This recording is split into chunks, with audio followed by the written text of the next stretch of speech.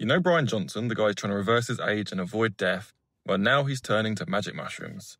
He's just announced he's testing psilocybin as a longevity therapy, taking 5 grams of dried mushrooms once a month for three months while tracking everything from his brain scans to his telomere length. Why? Because a recent study published in npj Aging basically says that psilocybin might slow aging. In the lab, human cells exposed to psilocin, that's the active form of psilocybin, lived up to 50% longer with less DNA damage, less oxidative stress, and longer telomeres, which are the little caps that protect your DNA from aging.